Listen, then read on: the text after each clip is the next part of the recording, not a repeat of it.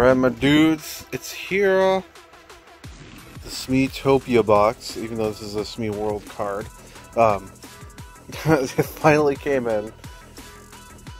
Uh, I don't, I don't think I got who I wanted. Uh, uh, they have. Uh, here, let me see if I can pull it up now that I have internet. Okay, so this is the Smeyetopia box. This is the one that I ordered. And unfortunately, I recorded this once already when I didn't have internet, and my video didn't save. So I know which two I got.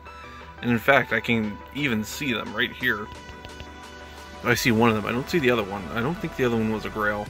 But I see which one I had gotten. And I don't know how much it's worth. So we're just gonna reopen it. So for the first one, I'd gotten. I mean, I think this one is a bit of a grail because it's in a protector, but maybe they're just sending them all out like that. And you can obviously see my my hand and see me. Oof. Anyway, this is the Walmart Doctor Strange, which looks a lot like the regular one, but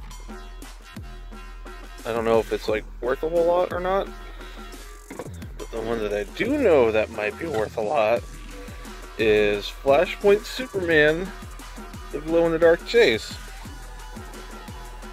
And from those and for those of you who know me, I don't really collect DC stuff because I don't like Superman. I mean, I, I don't like the fact that he is like super overpowered and you can fight me in the fucking comments. I don't care. But anyway, yeah, I got a, a chase. I mean, I'll take it. It glows in the dark. I'll take anything that glows. It's gonna go right up there with the rest of them. Just realized that I didn't check the values. In fact, let me see if I can find Doctor Strange on this. Alright, there he is not bad considering that. Uh, how much was the box? Okay, so the box was fifty nine ninety nine, and I. So the first pop. Showed my email. Whoopsie. So the first pop was thirty dollars. Let's see what Strange is at now. Oof! I took a big hit on that one. Oof.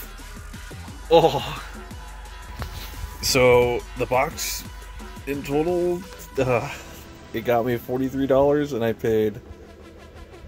Uh, I'm just gonna say sixty-five to ship it, I guess. Oof. But at least it's not a bad chase.